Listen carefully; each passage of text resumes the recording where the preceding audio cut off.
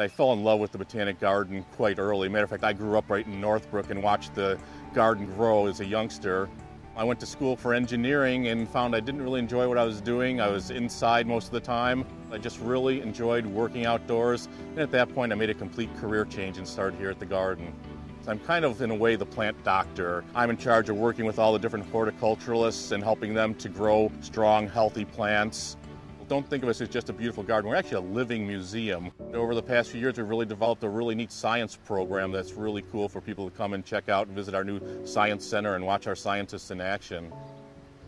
The whole world really revolves around plants. It's just such an important thing to understand plants and their role and their function in our overall environment.